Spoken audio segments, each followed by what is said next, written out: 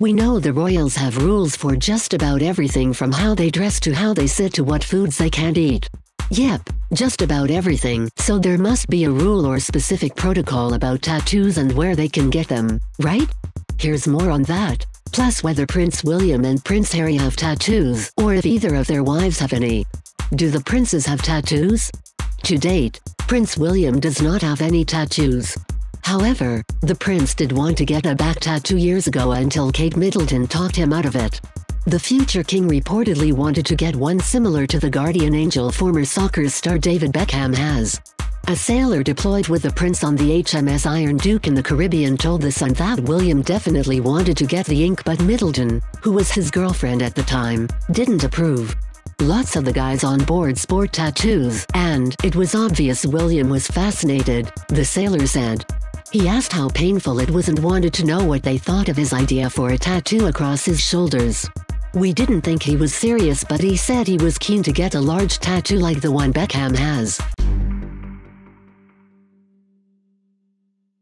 In the end, William did not get it and told his mates the only thing that stopped him was his girlfriend. As for the Duke of Cambridge's younger brother, well even though Harry has always been considered wild and edgy he never got any ink on his body. Moreover, there haven't been any stories from his military buddies either about him ever having a desire to do so. Do the Duchesses have tattoos? In 2018, Middleton was spotted with a small marking on her right hand during an opening for a new artist's residence in Sunderland, England.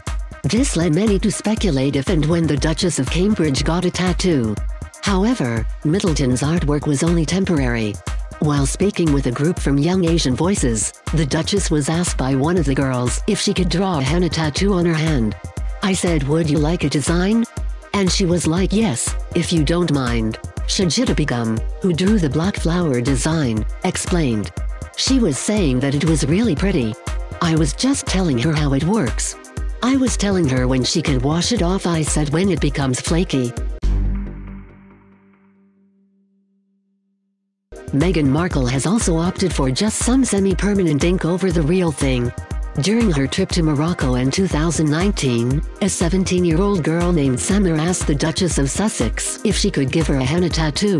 Samir said that it is a traditional practice for pregnant women in Morocco. It is to bring luck for the baby.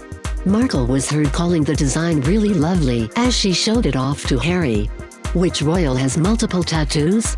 Many have wondered if the dukes and duchesses did get tattoos would they be breaking any sort of protocol.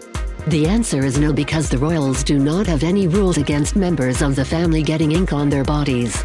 In fact, some of them do have permanent tats. William and Harry's third cousin, Lady Amelia Windsor, for example, has multiple tattoos. The Daily Mail noted that she has one on her ribcage and one on each of her wrists as well as a tiger on her shoulder.